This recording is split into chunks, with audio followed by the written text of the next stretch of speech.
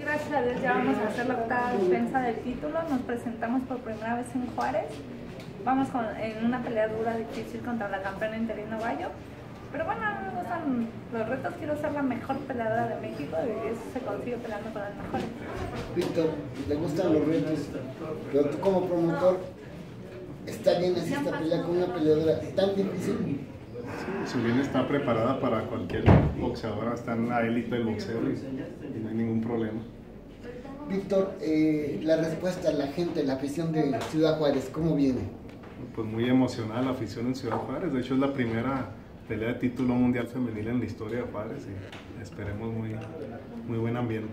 Zulina, haciendo historia en Ciudad Juárez y refrendando el título por nocaut o por decisión, ¿cómo te gustaría? Me estoy preparando muy fuerte. eh, lo, que me interesa es conservar el título, salir con la mano arriba, ya sea por nocaut o por decisión. Claro, si se presenta, pues no lo voy a desaprovechar, ¿no? Pero lo importante siempre es conservar el título. Zulina, un año más en Supermosca y después el gallo. Pues queremos hacer la mayor cantidad de defensas del Super Mosca y posteriormente me encantaría eh, ser campeón en diferente división. Víctor, con ella hasta que gane otro título mundial o dos más, ¿cómo? Pues hasta siempre, ¿no? Si Dios quiere. Víctor, eh, una función interesante, ¿quiénes van en el respaldo?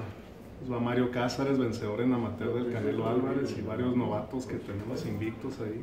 Por ahí va Fernando Piño, un welter eh, de mano bastante pesada, ¿no? Y Fernando Pelequi en el DF, allá va Darío Ferman, Marcos González, Brian Flores, pues varios muchachos con mucho potencial, invictos y con estilos muy comerciales y muy atractivos y, y ya que la gente los identifica en Ciudad Juárez.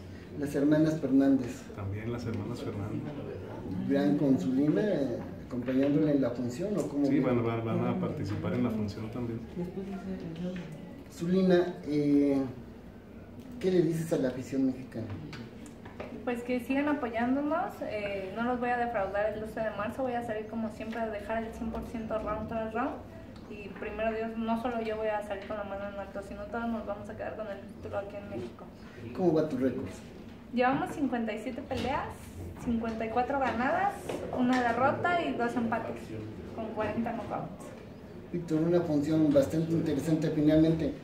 ¿Cuánta gente crees que se viene en el auditorio Neria, ya que tiene una capacidad enorme? Es muy grande, esperemos la gente responda. ¿no? Los precios son accesibles en general. ¿Qué, qué precios hay? Los, el, el general va a ser de 100 pesos. Pues Víctor, Zulina, les agradezco mucho sus palabras para Boxeo Mercado Informa. Una, una gran preocupación que tienen los aficionados es saber si la van a televisar o no. Y si ya tienen alguna, aunque no la tengan concretada, qué posibles este, televisoras hay por ahí para pasar esa pelea. Y estamos mirando ahorita opciones. De hecho, de eso venimos al DF a cerrar algunas negociaciones y, y esperemos la próxima semana ya tengamos definido. Entonces no hay así que digan, podría ser en esta, podría ser en la otra. Ya la- Es que la gente está muy preocupada, preguntan por, por la pelea de su linda. Sí, ya, ya la siguiente semana esperemos ya, ya le damos la información. Ok, pues muchas gracias. Sí, gracias. Gracias.